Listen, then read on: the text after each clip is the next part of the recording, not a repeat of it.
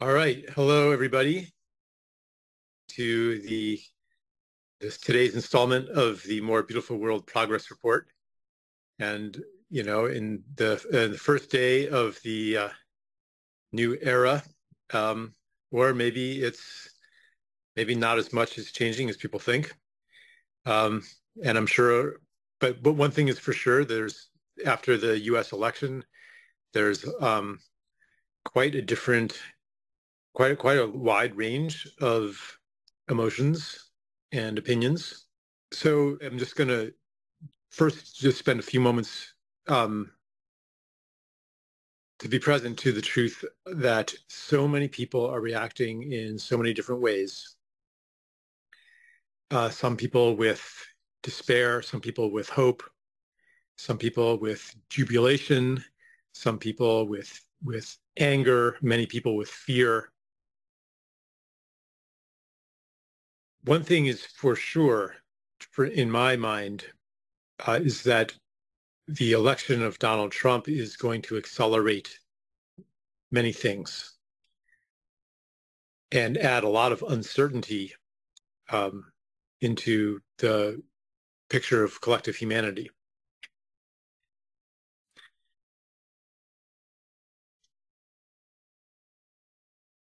Personally, I think that there are some, you know, very positive and some very negative um, possibilities that have been amplified by the election.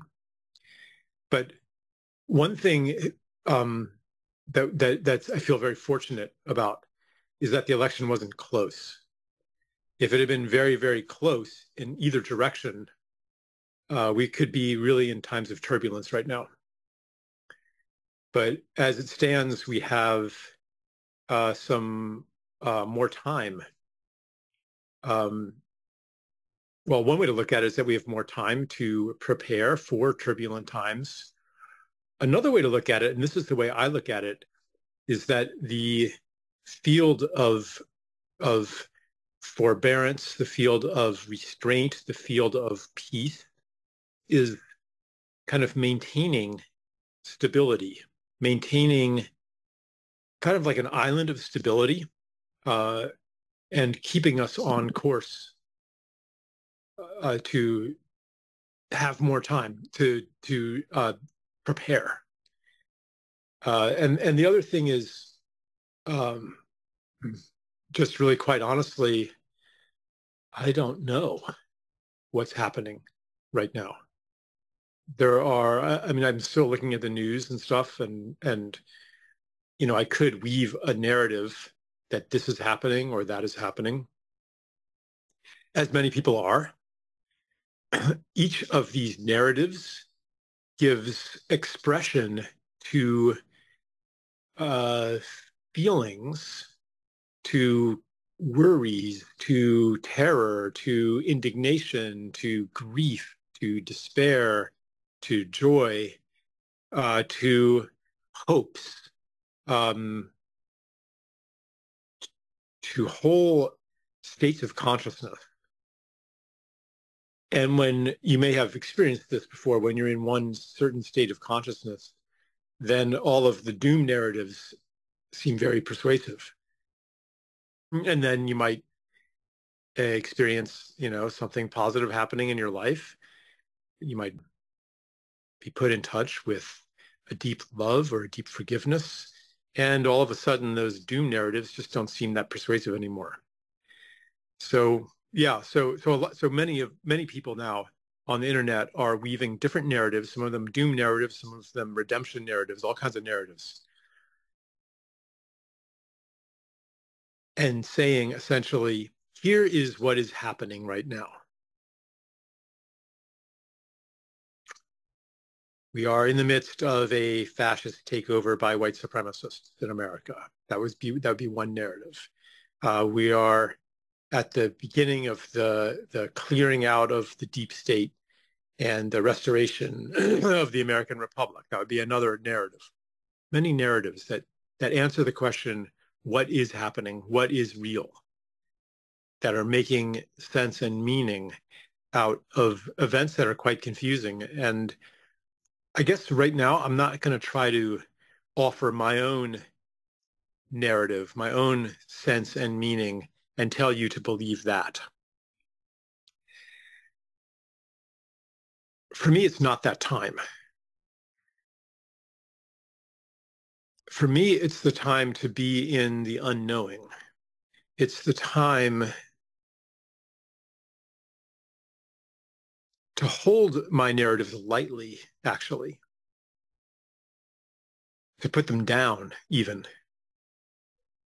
so that something new, a new understanding has the opportunity to arise, to put down my preconceptions about the various actors on the global stage, to put down my preconceptions about the American public, about the direction of world events. Not to permanently put them down, but in this time of transition, to give a little bit of space for, for new information to land that might contradict the things that I thought I knew, that might contradict the narratives that I was, you know, about to lay on to you guys because I'm feeling inwardly a sense of uncertainty. Um, and the flavor of this uncertainty actually is more of curiosity in this moment right now, more of curiosity and hope and possibility rather than fear or dread. But it's still an unknowing. And there may come a point and I don't know, maybe some of you are are in the place I am and just not feeling so sure of what is exactly happening right now. Because I guarantee you, you know, whatever your political beliefs, you could, if you sp- spent a week in the information ecosystem of the other side, uh, you would see things very differently if you really allowed yourself not just to not just to read their material, but to actually immerse yourself in it and say, I'm going to try on this worldview. I'm going to see what it's like to inhabit this ecosystem of information. I'm going to try on these beliefs. You might find that, um, you know, the views that you have right now seem ridiculous.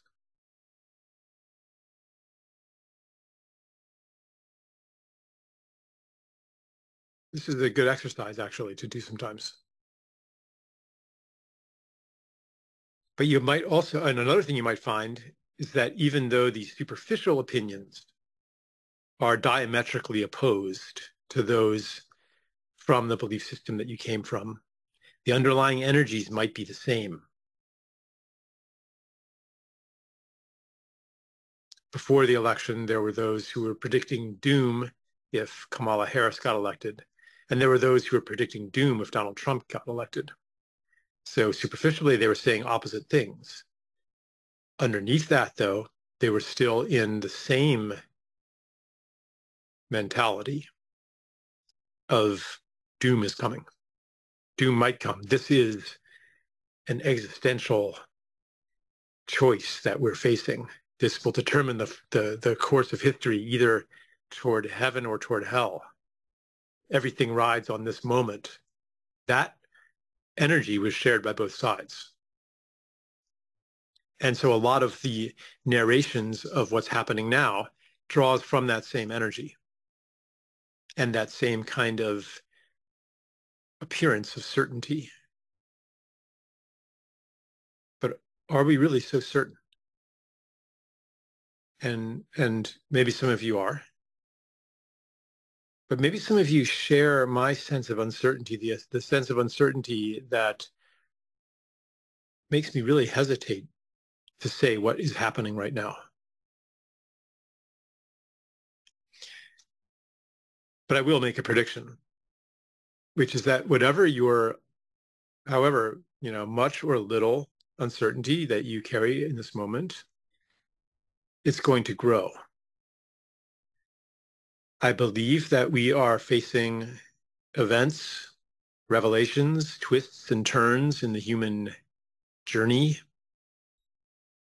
that will defy all of our expectations, that will introduce information that doesn't fit what we thought was real, what we thought the way the world was.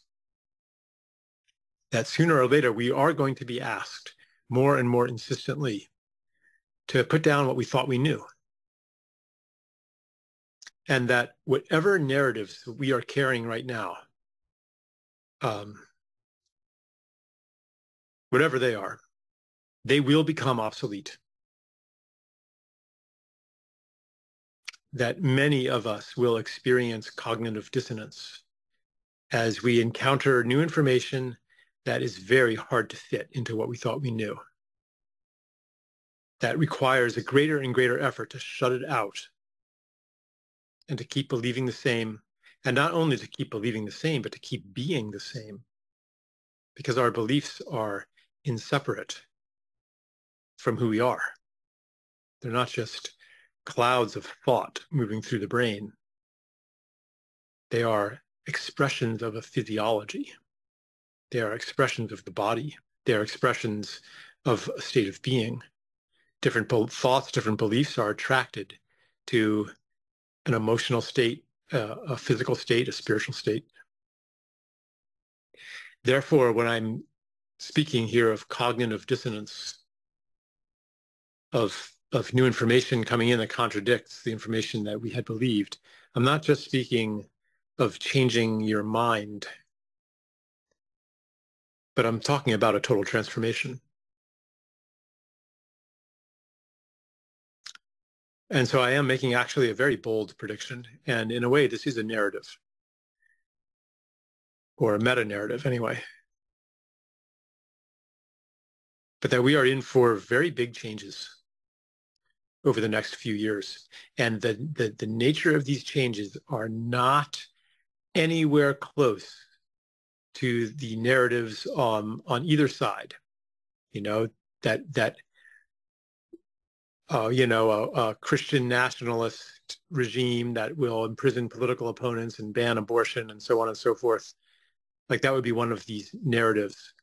Or on the other side, uh, you know, the uh, cleaning out of the corruption and the the um, uh, reclamation of free speech and constitutional rights and American democracy that's going to make America thrive again and make America great again according to some conception of a former greatness to restore something that we were in the past.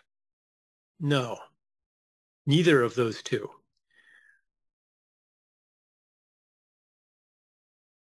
The drama that will unfold in the next few years is beyond any of any of that. It's not even in that world of of of, con- of conception. That that's my prediction. Basically, be prepared, prepare yourself for that which you cannot prepare for. And how do you prepare for that? How do you prepare for the inconceivable?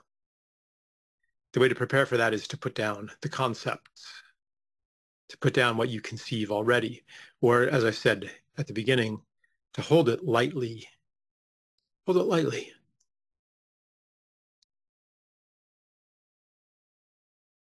And try out other narratives and see who you are, who you are in the house of another? Who do you become? And who do you become when you are in no house? Maybe when you're just walking down the street, peering into the houses of the others, seeing how they live, seeing how they think, but not entering the door. And then maybe you do enter the door and you see it from the inside, but you do not stay. And you remember that you're just a guest there. That's the kind of preparation I'm talking about, if that makes sense. From my vantage point on this boat here, I am getting certain premonitions of what may be in store.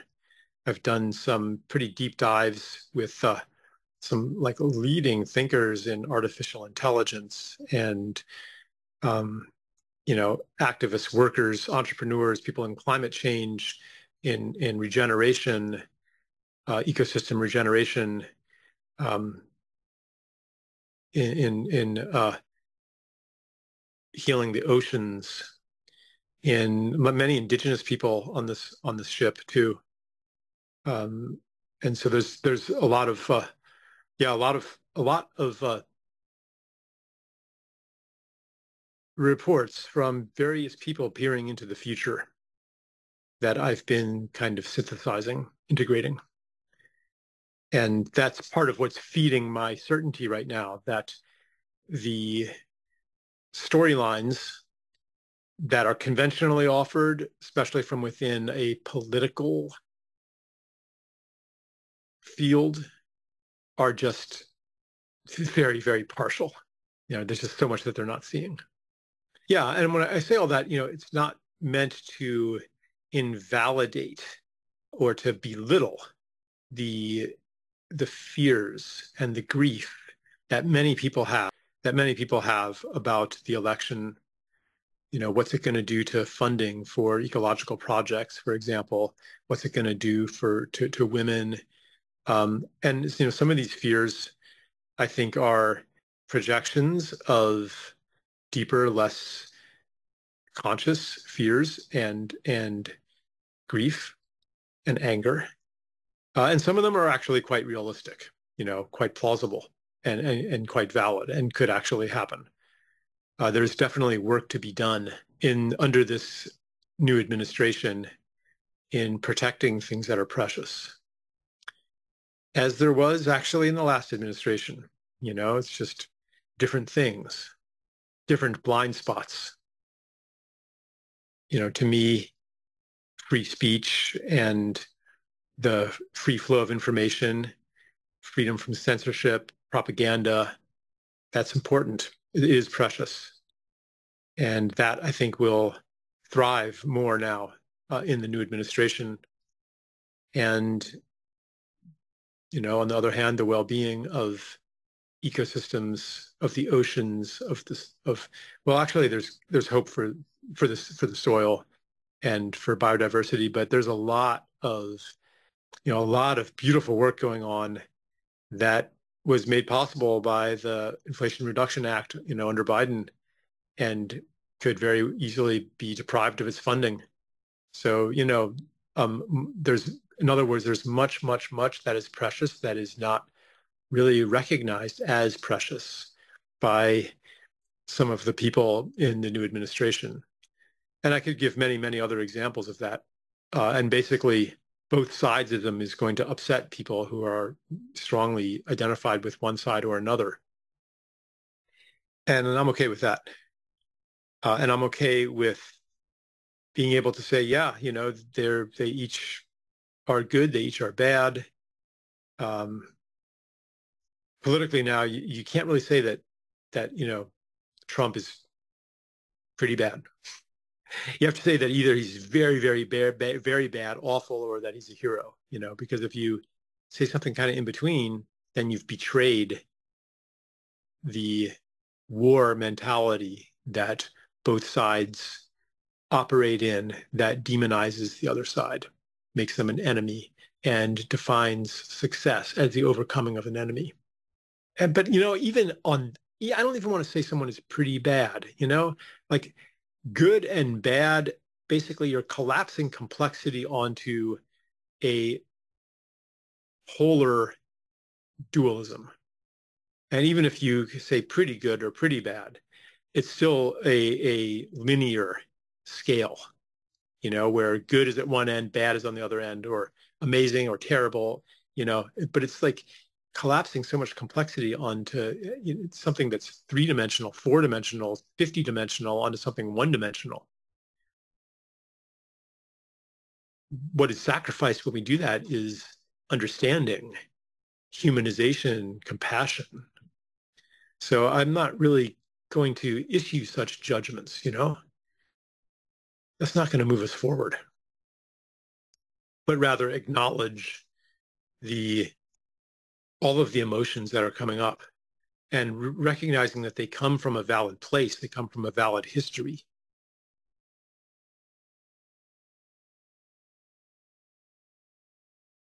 They're not coming from nowhere. It's not like some people are just fools and deluded. It's coming from a whole experience of life and should never be mocked or, or dismissed or belittled. The things that you feel that make you cry, that make you laugh, that make you celebrate, that make you grieve.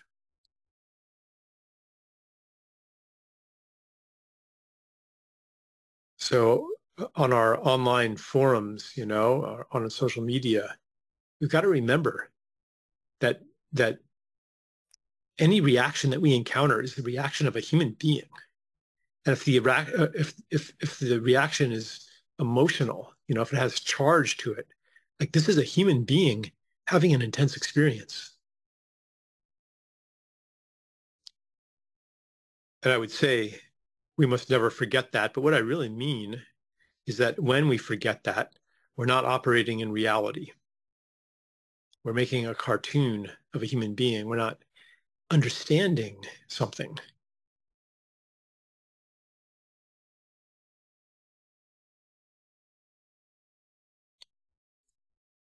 And when we shut out true information, when we shut out part of the truth like that and operate in a partial reality, in a collapsed reality,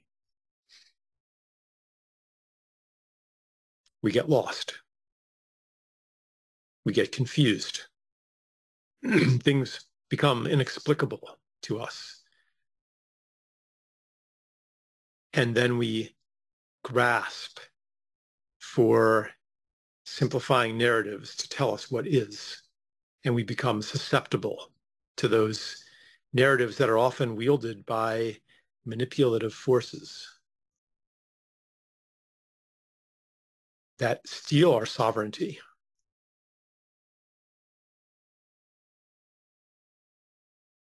That's what's happening when some when when a, a, narrative is offered to you, a belief system is offered to you that says, here is what is.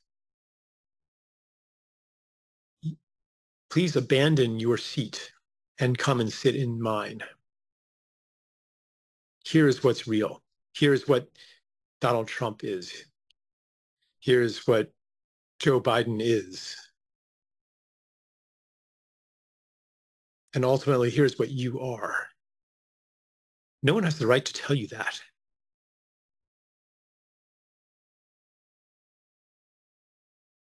And I'm not going to tell you that.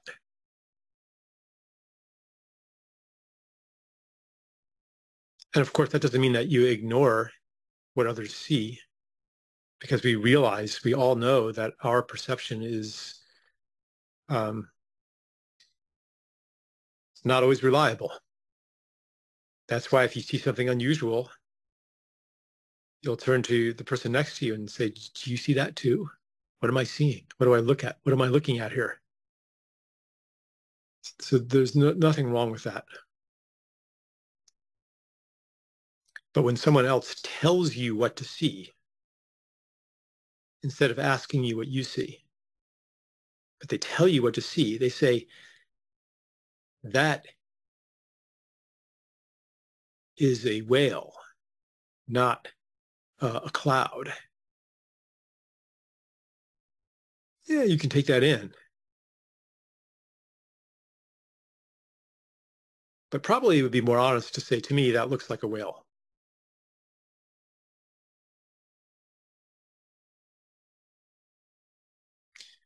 And so this is all in the vein of preparation. Preparation for a time when we see things coming on the horizon that we do not recognize. And maybe there's no one to ask, or maybe those who we ask, they don't know themselves, but they're so uncomfortable with not knowing that they pretend to know. And so they tell us, what they believe is.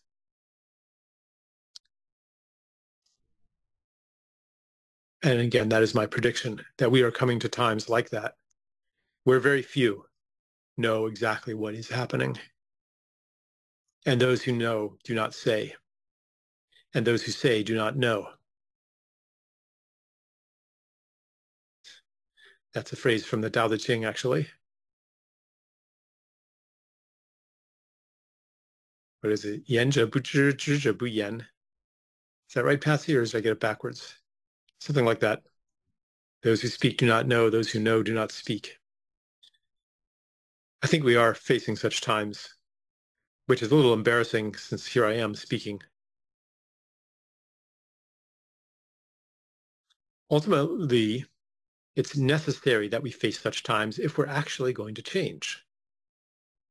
If, if the future is not going to be just some kind of recapitulation of the past, we have to go through a phase of not knowing.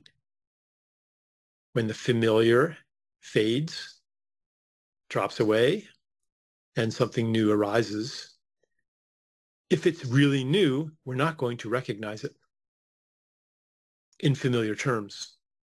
It won't fit into familiar concepts. It will not conform to familiar stories.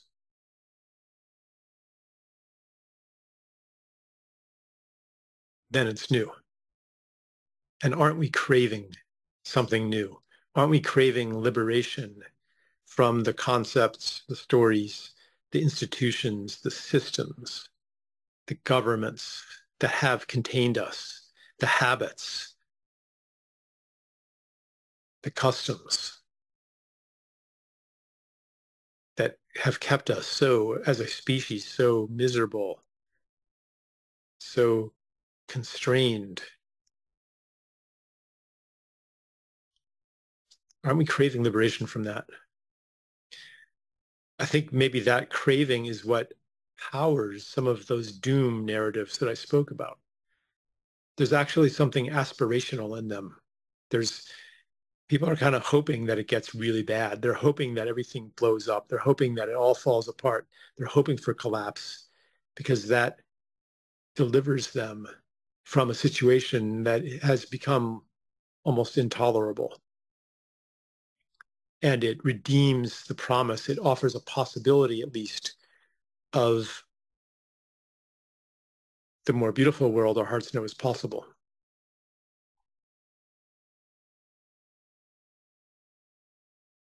So I'll just invite you here to this moment of uncertainty, this place at the crossroads, that maybe you're firmly in it, and maybe you're not you know maybe and if you're not you know if you are very much taken with one of the painful or hopeful storylines about the election about the world right now i invite you to enter as a guest into the house of uncertainty just for a few minutes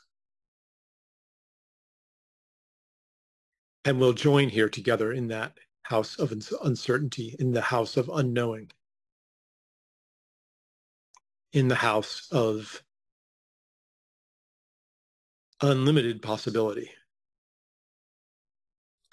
where our view of the future, our view of the world stage is unclouded by our preconceptions. We shall see. And we sit here in this uncertainty and in this unknowing. Maybe actually even close your eyes. I will do so. In this crossroads, at this crossroads, this nexus point of many paths radiating out into the future.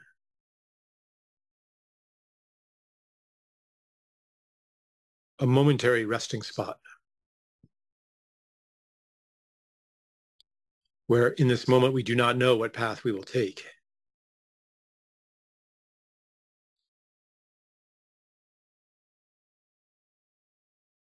In this moment, you know that you will choose a path that the moment for choice will come, that the choice will be revealed to you, but not now.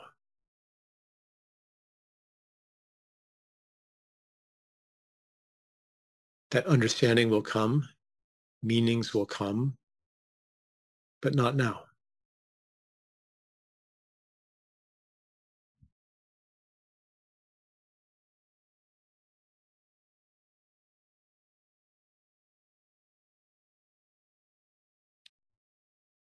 And so, alongside whatever the emotional generators of the stories were the grief, the anger, the hope, the joy, whatever it was alongside of all of those things, there's something else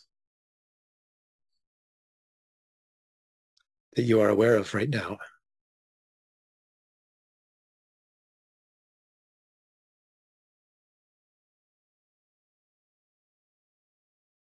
The calmness, light curiosity, and a serenity.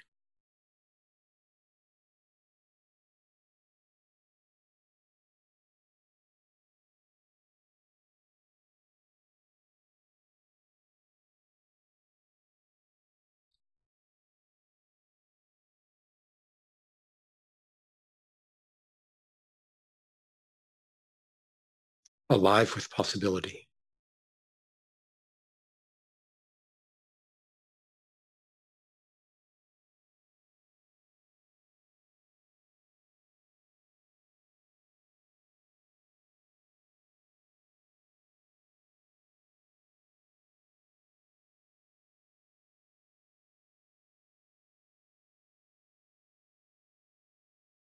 And sometime in the next half a minute or so, you can um, please open your eyes again.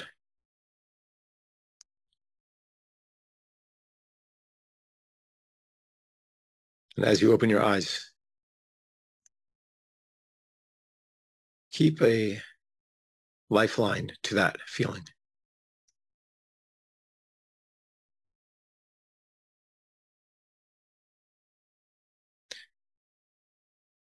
Serenity, curiosity, possibility not as a substitute for all of the other things that you're feeling that come from a valid place, but as a companion to them.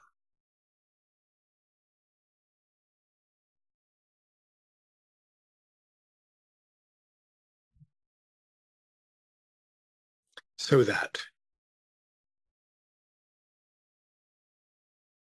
when this unforeseeable new information comes in that will seriously challenge the belief systems of almost everybody, that you'll be ready for it.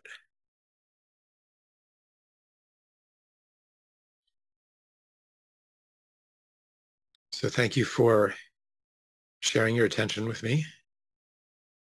And with that, I will turn it over to our beloved Patsy